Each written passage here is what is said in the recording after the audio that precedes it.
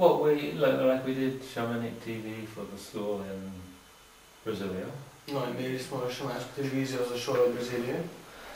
Um, one person became Jan Stanovšek in a few seconds Ena oseba je postala Janez Drnovšek v parih sekundah. because the person had never heard of Jan Stanovšek before.